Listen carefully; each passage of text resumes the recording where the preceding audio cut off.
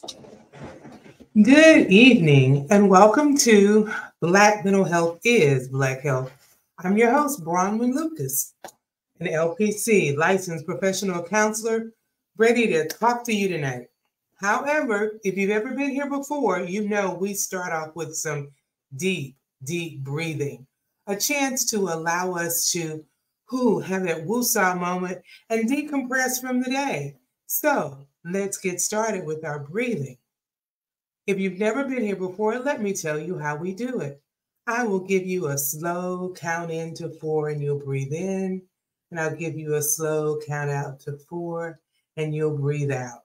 So let's get started. Breathe in, two, three, four, out, two, three, four, in, two, three, four, out, two, three, four, in, two, three, four, out, two, three, four. Just that woosah moment to say, whew, I need a minute to get started. So tonight we have an interesting topic, I think. And it's all about the holidays. You know, we are getting into the holiday season. Thanksgiving is 14 days away, and every other commercial has something to do with um, some holiday, mostly Christmas, but we're hearing Thanksgiving, we're hearing Christmas, we're hearing all of this, all the joys of the holidays, which everybody doesn't have. And that's kind of what we're going to look at tonight. What do we do if we're the one who doesn't have the holiday joy? Or what if we have it, but mm, someone close to us does not? How do we manage it? So that's what we're going to talk about tonight. Ooh, that holiday, holiday, holiday. As the topic says, are we going to run from it or run to it? Um, and we might change. One day you're running toward it, it's the best thing, and the next day, oh Lord, I can't manage it. So we're going to look at that, just what goes on during the holidays. Now, normally in the holiday season, I will talk about, you know, just the holiday blues, things that people experience, um, and why this is not always a good time. But I'm going to look at that in a little more this time. I've done it in the past where I've, I've done talks, oh, in numerous places about the holiday blues. People always want to talk about it, and we will. But we're going to look at three areas tonight. Just um, how do you handle it sometimes if you are enjoying the holidays, but you're doing too much? Um, and then we will look at the holiday book blues, and then we'll just take a special look at just grief and holidays, because that grief can add a special meaning to the holidays. So let's just look at um, first. Let's look at NAMI, National Alliance of Mental Illness. They do talk about just the holidays and they have a definition for it. Um, this is what how they define holiday blues as high, you have high expectation, loneliness, and stress can lead to the holiday blues during the holiday season from Thanksgiving to New Year's. In some cases, the symptoms are temporary, but they can be serious and last for more than two weeks, leading to clinical anxiety and or depression. And part of this can be um, some people can experience what's called SAD, seasonal affective disorder. And guess what? You're feeling sad if you have SAD. Seasonal affective disorder happens when um, the days get shorter, it's darker, longer, it's cold, you're not going outside, you don't have the benefit of just feeling that vitamin D, feeling the sun invigorate you. And it can become just depressing. You just don't get outside. Now, it's more impactful in some places than others. Here in Texas, we don't have the same kind of cold that other places do. However, when we do get our cold, we don't want to go outside. Ew. Um, today, I'm in uh, the Dallas area in Arlington. It was not the day to go sit outside in my backyard. It was raining and it was cold or cool in the air, but you know, that rain made it feel cold. So you're inside more, you're losing that. So seasonal affective disorder can last from mm, it's the winter months, maybe around now, starting in November and going through whenever your winter season ends. Um, and so it's separate from the holiday blues. But the holiday blues, if you're experiencing seasonal affective disorder, they can kind of blend together. And that's if that is the case, then that is a time to get some help. Uh, some people use medication, some people use therapy to find and develop coping skills for themselves. How do I get through this? It's not good. I'm not enjoying it. I'm not enjoying life. And that's the time to reach out and get help. But we're going to look at um, just this whole holiday season. So, what if you're the person who loves the holidays? It is just wonderful. I can't wait. Mm, it's cool. There's a crispness in the air, and there's so much to do. I just love it. Maybe that's you. And if so, awesome. That's great. I encourage you to still listen because sometimes that same person can be burned out in the holidays, or you might hear something that can help someone who doesn't have the same feelings that you do have. If you're watching on Facebook right now, share it on your page um, so more people can hear about how we're managing the holidays. So let's think about first that busy person. Sometimes a person can be just caught up in the holiday moment and it's so much to do, and all of a sudden you find yourself bottoming out. oh, it's just too much. I can't do this. Um, and you're overwhelmed because probably you've given yourself too much to do, you know, and it's like, oh, I can't manage this anymore. It's just too, too much. So, what are some things to do if that is you? Um, so you're enjoying this holiday time, but I can't do all this. So, um, the first thing I want to say to you, if this is you, you love the holidays, but you find yourself getting too much First thing to do is remember you don't have to do everything. I talk to so many people who feel like they have to do it all. Well, if I don't do it, the children are going to do it, my spouse isn't going to do it. So I have to do X, Y, Z. And I just have to do it all. And that may be very true. It won't get done if you don't do it. But then ask yourself, will my family suffer if I don't do X, Y, Z? I have a list of 20 things. I just can't do all 20. Of that 20, will your family suffer if you don't do them all? Because sometimes we set ourselves up and have these unrealistic expectations. Will your family suffer if you don't do it all? Will the world come to an end if you don't do it all? Will your personal world come crashing down on you if you don't do it? If you don't go to every holiday party, make every holiday dish, buy every holiday gift, will your life suffer? It may not.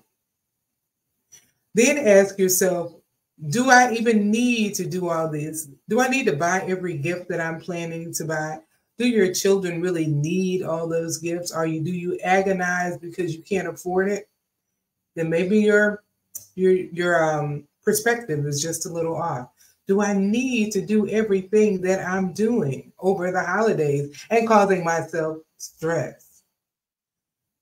To that end, are the holidays causing you, uh, they're taking away your joy? Hmm. Because you're so busy doing so much to make it right for everyone else that your joy is gone? Wow, if that's the case, Maybe it's time to think about regrouping and doing something a little different. Don't you want your joy? Hmm. Not a good place to be. So, if you're in that boat, what can you do? First off, take a break. As I said, you don't have to do everything. Give yourself a break. Give yourself your own time out. I can't do this anymore. I'm taking a break. Learn the value of saying no. No, I can't do it. I don't need to do it. I'm not the only one. Okay, if I don't do it, it won't get done. Well, guess what? It won't get done. The value of no. Just a sidebar, I'm doing a workshop this weekend in the Arlington area called The Power of Yes. Learning to say yes to yourself and no to everybody else. It's this Saturday at 11 o'clock. We have a few slots available. So you can um, message me right here on Facebook if you're interested. But say no. It's a powerful word. Some people say no is a complete sentence. I say no is a complete paragraph. And sometimes it's just a complete story. No, I can't do it. And you don't have to explain, no, can't do it. be honest with others about what you're able to do because sometimes we take on too much and that's part of it not being able to say no oh yeah i can do it really and sometimes we're even you know people will ask you to do something and you say yes and then they're like are you sure and it's like oh yeah i got this no you don't and it's okay that you don't have it just back away be honest give yourself as i said earlier a timeout just I'm, I'm taking a break, taking a break. Change your expectations. Sometimes we have expectations around the holidays. They have to be this or that. Um, do they really? Are you setting yourself up for something that is too difficult to manage? If so, they're your expectations. Claim them and change them. You don't have to do everything. And here's the last one ask and accept help. Ask for help and accept help. Hmm. Help. That's a four letter word. Yes, it is. Ask for it. It's so easy to get caught up in, I can do it myself. I can do it myself. No, you can't not. You can't do everything yourself. So when you're um, finding yourself just way too busy trying to manage the holidays and losing your joy, ask for help. It's okay. It doesn't mean you're a weak person, it just means you're a human being. You can't do it by yourself. So, the first area is how to manage the activity in the holidays. You don't have to do it all. But I want in the next, as I said, I'm looking at three areas how to manage just the activity, even when you enjoy it, what causes the blues and how to deal with it, and dealing with grief. So we're going to look at now just the holiday blues. I defined it already. And what do we do with this? And tonight's episode um, is going to be a little shorter than the 45 minutes, I believe, um, just for some for a different reason, but it'll be a little bit shorter, just so you know. But what causes the blues and what do we do with it? I gave you that definition with NAMI and I wanted to read it again those high expectations um, and loneliness and stress can lead to the holiday blues. Um, and this time, the holiday blues goes from Thanksgiving to New Year's because that's a holiday time. So let's look at that. It's starting in 14 days, as I said, it's Thanksgiving. That's this time where, oh, we're all getting together. I call it the eating holiday. You're getting together with family, friends. Now they call it family. Uh, your friends who are like family, just people you want to be around, and you're sharing a meal. People tend to overeat on Thanksgiving. Like I say, it's that eating holiday. You plan for it, but it's not just the eating, it is just being with people you love. But if you don't have that, and that's what you see again, you know, the media is putting all of this out there, and you see all of this in front of you, what the holidays should be from Thanksgiving to New Year's. If that's not your reality, it can be very difficult because you're bombarded with that's the norm. That's what you should feel. That's what you should experience. That's what you should have in your life. And when you don't, does that say something about you? Is something wrong with you because that's not your world? No, it's really not everybody's world. It is just what's put in front of you. But when you see that and you're bombarded with it, boy, if it's not you, you can feel a certain way. Um, so, what do you do? What are some factors and other things that play in it other than just the media? Um, other people can have expectations of you during the holidays too, and maybe you're not up to doing it you know, I talked about the people who do too much and just a word of uh, and admonition to say back off. But wow, what if people have a lot of expectations because you've always done it and this year you don't want to?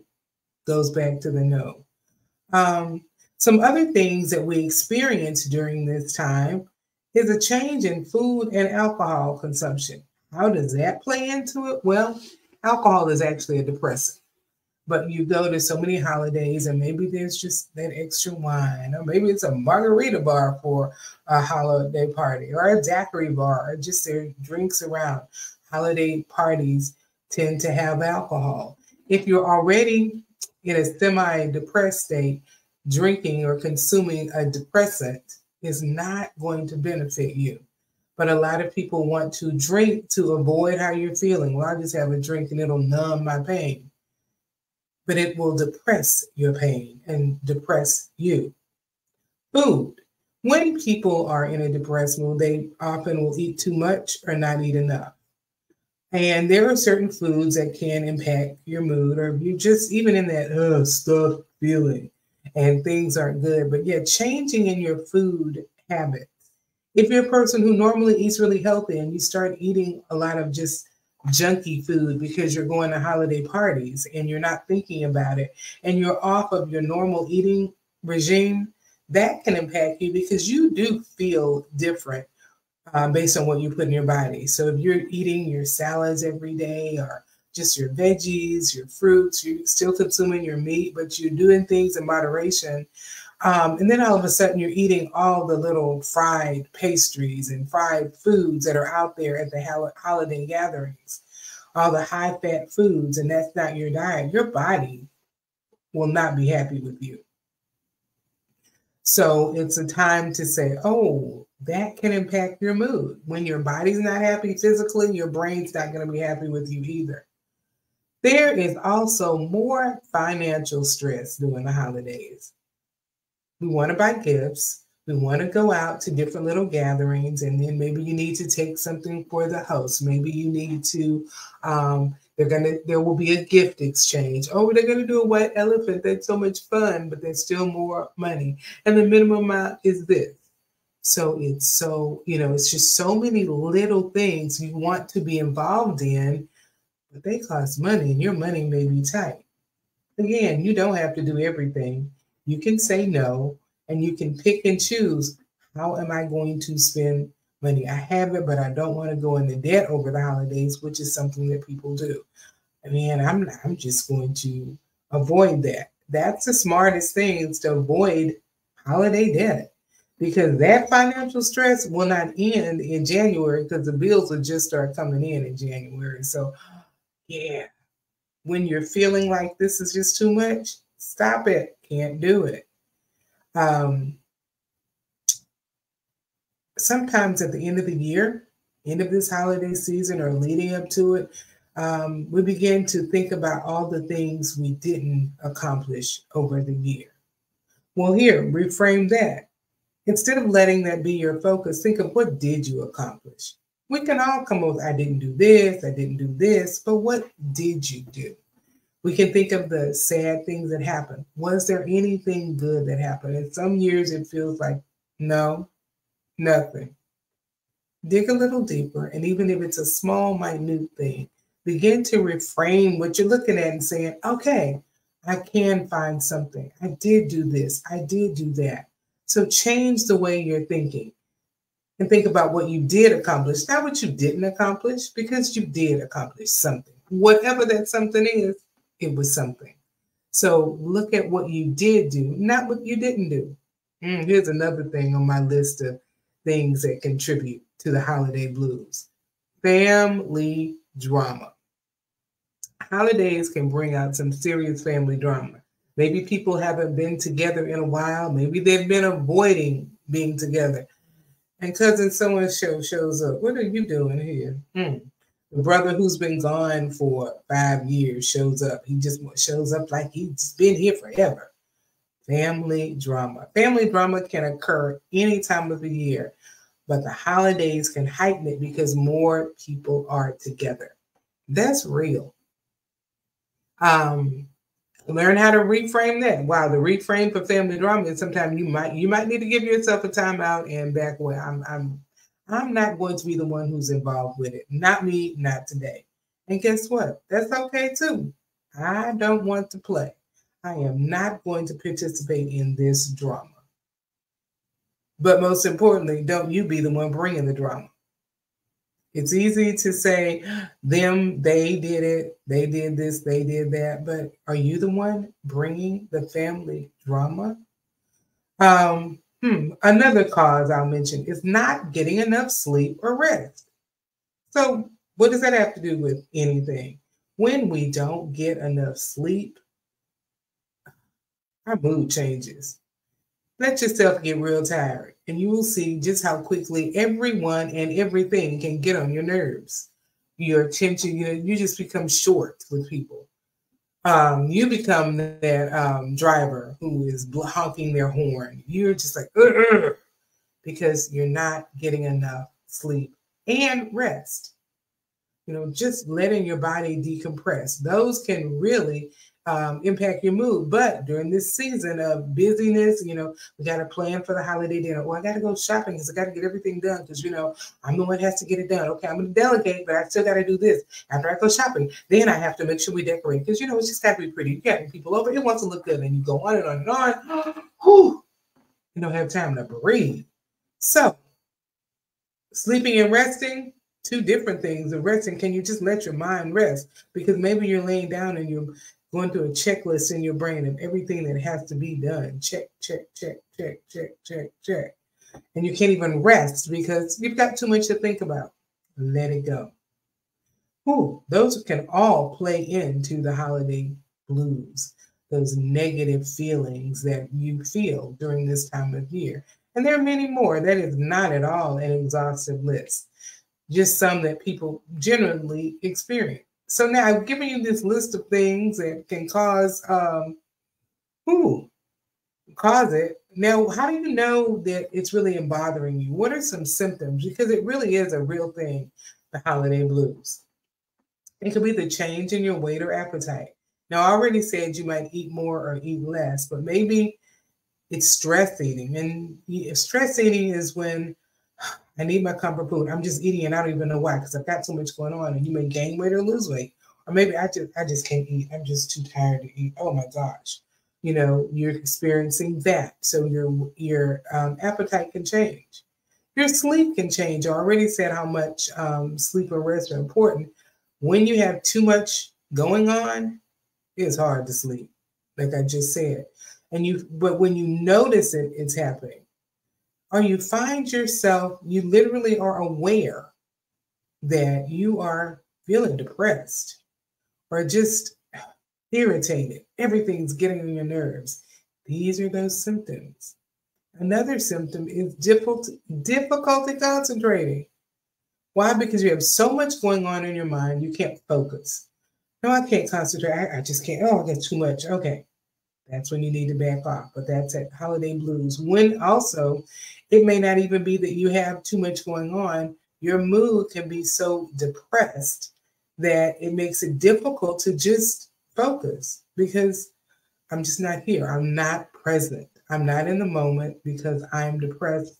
And the overarching thing is I'm depressed. And because you're feeling that way, yeah, it is too difficult to think about anything.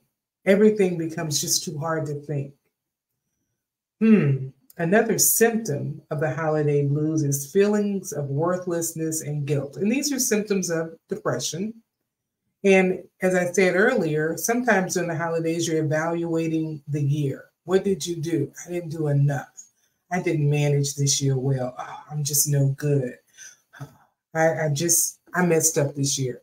And that can lead to that feeling of worthlessness. See, I, I'm just no good. If I was, I would have done the XYZ. Again, change your focus. Maybe you did mess up. I'm not going to negate that. Maybe you really had a sucky year and you didn't do things the way they needed to be done. But guess what? You're still here and you have the opportunity to try again and start over. Every day is a new day. So if you had 20 bad days.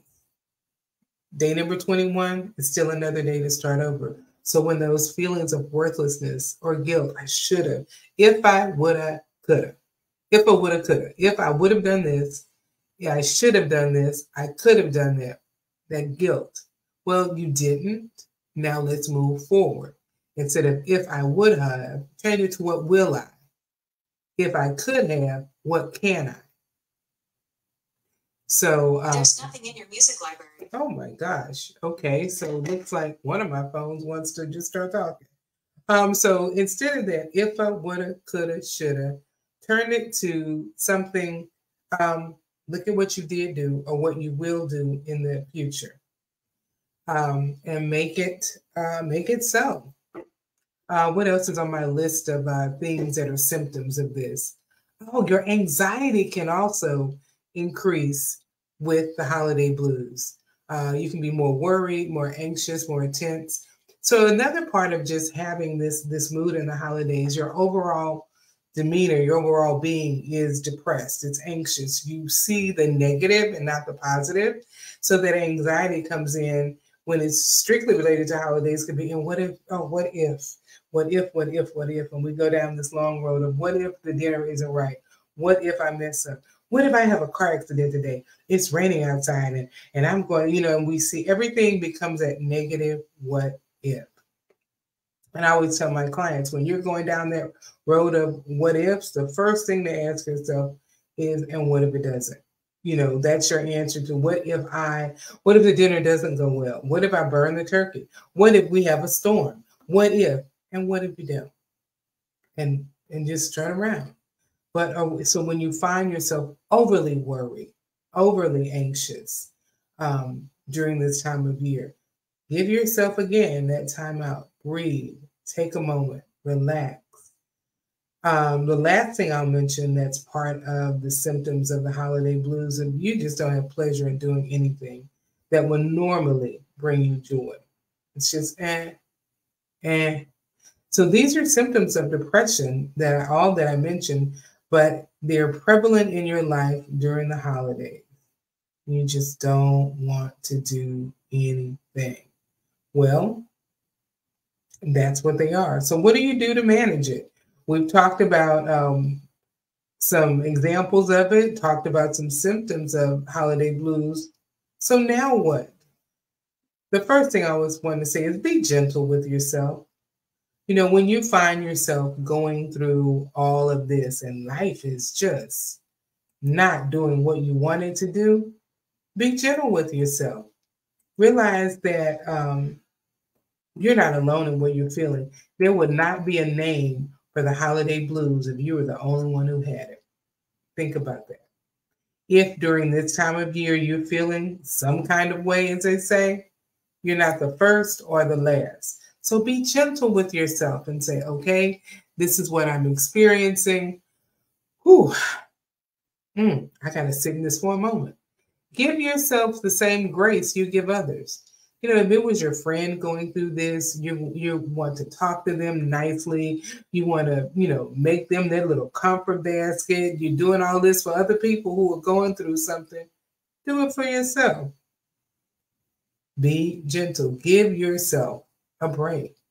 Change your focus. Focus on um, what you do have. If you're in a position where are traditions you don't have, are no longer there, you can mourn the loss of them. And we'll talk about that in the next section on grief, but create new ones. Take some time to just relax.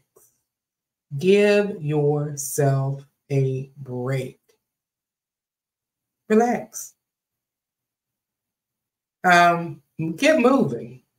You know, there is so much um, about movement and releasing the exercise and releasing the endorphins in your brain, that feel good chemical. So move. Don't just sit around, even though you're relaxing. Go for a walk. Like today eh, in Arlington, not a day to go for a walk um, because it was raining and icky outside. But if you can't go for a walk, I always say there is the world of YouTube. You can put, you can find a YouTube uh, exercise for any mobility level. You can just type it in. I am not a yoga person, which is very good for you know managing uh, your mood. Yoga is very good for that. I'm not a yoga person because getting on the floor doing all those poses, not my thing. So one time I decided to type in because I'm always saying YouTube. You can just type it in and you'll find it. I typed in um, yoga exercises for old people. It came up not a chair exercise. Then I typed in, yes, I use this word. I'm going to tell you, yoga exercises for fat people. So I'm like, all of this ain't getting down on the floor. It's a little too much of me to be out doing all of those poses. Guess what? Here's the videos popped up. So when you're thinking about movement, moving, whatever your activity level, whatever your size, you can just go to YouTube, get moving, release those endorphins in your brain. Uh, that can improve your mood. Um, even though we want to improve your mood, take a moment to sit with your feelings and find a proper place for them in your life. You know, what do I want to do with this? If it's grief, is it sadness, if it's just I'm just depressed, don't ignore it. Own it. Why do you need to own it? If I own it, it is mine. I can I have the power to get rid of it. I have the authority to get rid of it. I have the right to get rid of it. And I will find the ability to get rid of it. So sit with your feelings, figure out what they are, take ownership of them, and then decide what to do with them. Um, avoid isolation because it's easy to, when you're in this depressed mood, to say, you know, I don't need to be around people because I'm just not in a good mood and I'm just going to bring everybody down. And that may be true, but begin to rephrase it, reframe it again. Okay, I'm going to go out for a limited amount of time. I'm going to go out just so I can be with others and choose who you're going to be around. Choose what activity you want to do. Choose something that, you know, I really do like doing this. I'm going to allow myself to feel good. I'm going to only stay for 30 minutes because that's all I can handle. And do your 30 minutes and leave, but avoid that isolation because that can increase those negative feelings. Ooh. The last area I want to just look at as we're talking about these wonderful holidays, and I wanted to give a special focus to grief. Yes, grief. What do we do with grief? Because it's real during the holidays. And let me say this grief is not just the loss of a person, it can be the loss of a circumstance, it can be loss of a situation. We grieve so many things. And that grief can be paramount during the holidays, not just the grief of a person. Um, but first, let's look at if it's a grief of a loved one. What if this is the first Christmas without them? That can be very challenging. If you are uh, a family or used to getting together with friends and that person is no longer around, and it's the first time, your holiday may feel like it's just I don't know what to do with it. It's too much. It's too soon. Still, don't isolate. Find a way to be with those you, that are still here that you love. Um, there, GriefShare's a program that deals with grief, and they have a statement that says, "Grief is the price you pay for love." Think about that. You only grieve those you love. If I don't love you or you weren't important to me, I may say, oh, it's sad, I'm sad you're gone, but there isn't that grief. There isn't that feeling of, oh my gosh, I miss you. Mm-mm. So grief is the price you pay for love. If you love them, you will grieve that person. Um, don't run away from it. Again, it's just like with your emotions. Sit in the moment of that grief. Talk to someone who will listen and not judge you. Now, guess what? Grief does not have a timeline. It may be somebody that died in 2023 that you're grieving. It may be somebody who died in 2003. It may be somebody who died in 1983. It doesn't matter. Something can happen to cause that moment of hurt and um, just hurts and angst in your heart because this person is gone. So, what can you do? Hmm. Find a memory of that person that makes you smile, a memory that makes you laugh, a memory that makes you just go, mm, only them. And when that happens, just hold on to that memory, that part of you that loves them, that makes you smile. Because if you love them and you're grieving them, something, there had to be something good about them. So hold on to that. It doesn't matter how long. Something else you can do is make yourself a comfort kit. This is a little, can be a container. I would recommend decorating it, making it pretty, and it can be a box, or it can just be a plain box. It could be a shoe box, but it's filled with things that bring you comfort. What are some things that could be in there? Oh, candles, essential oils that make you feel good, And essential oils have so many purposes in it. So that right essential oil for what you need. Um, some bath salts, bubble bath, something. I'm just gonna go soak in a tub and have the aroma, things for aromatherapy. Some feel good music. Music can totally impact our emotions and our mood. So you don't need the music that's going to bring you down. It might not need to be that person's favorite song because that might bring you down and not up. But feel good music, and that feel good music is whatever feels good to you. There is no magic into feel good, what brings you up. Maybe a good book because you're going to give yourself that time out. Let it not be a serious book. I um, recently have discovered the art of when you need that break and that time out from life, read read some junk. You know, uh, by that I mean it doesn't have to be, you know, anything that's going to be cerebral and improve your life and your mind. It's just something you're reading for the fun and enjoyment. Because if you want this time out to manage your grief, you want to elevate your mood, or maybe just something fun. Also, in this in this comfort box could be um, a journal and a pen. Maybe you want to just journal your feelings, and that's a very positive thing to do. You might also have a stress ball. Just mm, mm, mm. a coloring book. They're adult coloring books. And for some people, that is a very positive thing to do. Maybe you want to have your comfort snack. This might be the time for that chocolate or that hot candy or that sour candy, something, you know, just a little something that just ah, feels good have maybe having some affirmations in that box that are quotes or positive sayings that you pull out to read when you're in that zone. And finally, maybe some prayers you pull out and you read to feed your spirit because as you're feeding your spirit, you can feed your mood and you can elevate your mood. So create your own comfort box. So maybe this is something you create for any time during the year, just when you're feeling some kind of way, things are not right, you have that comfort box. And there is no right or wrong. Those are just some things I thought about putting in a comfort box. There may be others. What brings you comfort?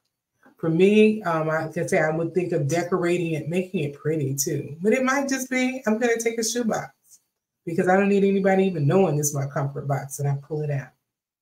But have your comfort box. So when you're thinking about that person, you can take yourself to a place where you own those feelings, but you take care of yourself. I said we look at a loss of circumstance. That could be maybe you moved, and this is the first time you're spending a holiday away from family. Even if you're getting with, they're going to come to you, you're not there for everything you're used to. Maybe it's a loss of a job. And maybe our self esteem and sense of self has been wrapped up in that job and it's not here anymore. So not only do I not have the finances, I just don't have the recognition. My job defined me and it's gone. What do you do with that? And could be the loss of a pet. Those of us who are not pet people don't understand the full impact of what it's like to lose a pet.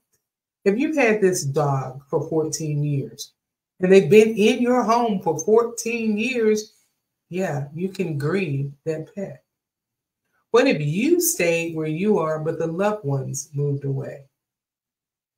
These are all um, circumstances. It's not a person, but you can grieve any of that. What if it's a change in holiday activity where you had a certain activity level and things change? COVID did this for a lot of people who, you know, that first year when we were in lockdown, you didn't um, go around people. So no one was celebrating the holidays, Thanksgiving, Christmas, big dinners. Uh, it just didn't happen for so many people. What if your grief is both loss of a person and loss of a circumstance? Uh, meaning what that person, how that represented and how that played around. Um, so personally, back in that COVID moment, um, during that time, um, one of my best friends passed away with cancer during COVID that same Christmas, um, normally Christmas, you know, we're a family. My family has dwindled down pretty small, my family of origin, meaning my sister and I. And so we always spend, you know, Christmas together. That Christmas, um, after the lockdown, she and her husband had COVID. I'm here in Dallas area. So I had lost my friend, and it was the first year without her. Um, and that was something that I was missing. And we, she was the um, holiday diva. She decorated even her bathroom for Christmas. So that was a difference in um, just being around somebody, then not being in Houston for Christmas and not having that so much difference. Um, so I had a circumstance that I wasn't where I needed to be in loss of a person, and it was COVID. I'm a per- moving up here to um, the Dallas area for me represented a big change in um, a change in how I manage the holidays, a big change.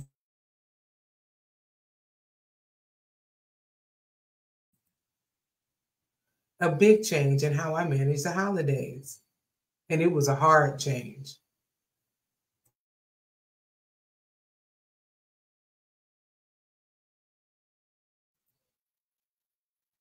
it was a big change. I here is the example for like about five, the at least the last five years before I moved here. I would um we celebrated Christmas at my house. I was the only one who had the young child in the house. So Christmas morning was at my house. I would cook breakfast. Well, then we'd have Christmas dinner at my house. Then my dad's birthday was two days after Christmas. And guess what? We did a birthday party and birthday celebration at my house for him. Then two days, a day or two after that, we had Kwanzaa. We celebrated that at my house. After we celebrated Kwanzaa, sometimes it'd be New Year's Day at my house. That's like five celebrations in one week. Did I love it? Yes, I thrived on it. I am. That was when that uh, people person part of me um, came in, and I just thrived on all of that. And believe it or not, that wasn't stressful. As a friend of mine says, I was the one who would have everybody come and help clean up between uh between parties because and I would want a different theme and colors and everything, you know, the right plates and everything for each event until it got to New Year's Day and everything that was left over. Those were our cups and and plates. But when you lose that, that year when I was here and my friend had died and I wasn't celebrating, that was very depressing for me. Very hard. And I had to stop and realize when I sat in my grief and sat in my emotions, I realized it was a loss, not just a loss of a person, because in that three year span, my father had died, my sister had died, and my best friend had died. That's a lot. Bam, bam, every year. And then none of the holiday separate celebrations. So you have to sit in your grief sometime and figure out what it is, what's going on. So I thought we were going to end there early, but it's okay. We're ending at the regular time. Um, when you are going through this holiday and you have to think, am I going to run from it or run to it? Run to it with all the gusto you can. If it's bringing you down and you're experiencing some holiday blues, sit with it, figure out what's going on, manage it and you don't have to manage it alone. There are sometimes you might need some professional help. That's why we as mental health professionals are here. Get the help you need to say, you know what? Oh, this is rough. If you're grieving and experiencing grief, get help. Grief is real. It doesn't go away on its own. It doesn't just disappear. You might need some help. Remember, grief is the price you pay for love. So that person you're loving, you loved, and you still love, and you're missing, it's okay. Sit with it. So, our call to action is run toward the happy, reframe the negative, and find something positive. If this wasn't the year for you, you did survive. If the holidays aren't your thing and you're not looking forward to them, at least look forward to you. What do you need to do for you? Find that happy moment, find that joy, don't let it go. Maybe you need some help finding that joy from a friend, from a professional, but find the joy. Don't let it go. And always vote, vote, vote. There was an election this week, and hopefully you got out there and voted. Hopefully you were an educated voter. In my precinct, my area, we only had those 14 proposals. I had to read them over and over to figure out. But I always say vote, vote, vote. How does that even manage with this topic? Laws can be impacted that can, laws can be enacted that can impact what you're able to do, which can impact your holidays, which can impact your mental health. Well, I'm Bronwyn Lucas, the uh, um, licensed professional counselor here with Black Mental Health is Black Health. Good health to you. Good happy holidays. We'll be back next week with another topic and a guest, and I'll see you soon. If you find yourself in need of help, mental health help, reach out. Um, you can DM me and find me, or you can go to my website, ablecc.org. I'm here to help you become a better you. Bye now.